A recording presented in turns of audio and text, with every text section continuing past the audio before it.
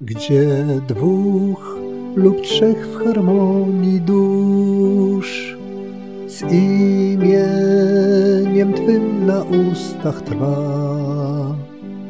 Tam obiecałeś stanąć już, bo drogą Ci jest szutka Twa gdzie usta wznoszą pieśni chór, by chwałę Twoją w niebo wznieść.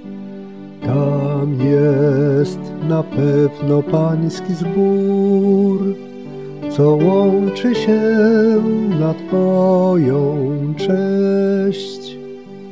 A imię Twoje łączy brać, utwierdza wiarę Bożych sług, pozwala im w pokoju trwać, choć srogie próby zsyła Bóg.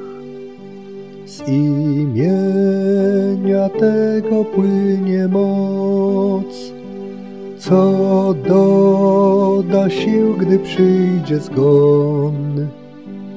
To imię światłem w ciemną noc wskazuje drogę przed Twój tron.